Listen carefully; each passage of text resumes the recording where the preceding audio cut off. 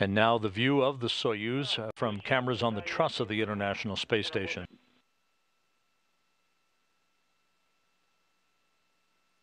Seconds uh, of its descent for landing that we're looking at at the moment. And here's our replay of uh, landing. Uh, let's keep you on the on the line here for just a second. And there were the soft landing engines firing.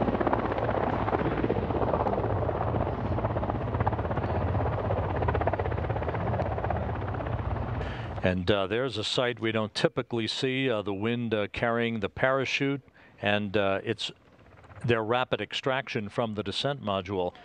Uh, you can see a brisk wind, uh, patches of snow on the ground. Person crew for the next two weeks until they are joined by the next trio of residents. Yeah. And uh, Alexander Gerst of the European Space Agency, a German volcanologist uh, who spent uh, five and a half months on board the International Space. Matt. Matt. I have one right here.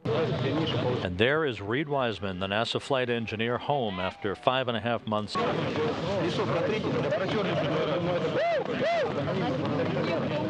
what you call adrenaline, full force, full force.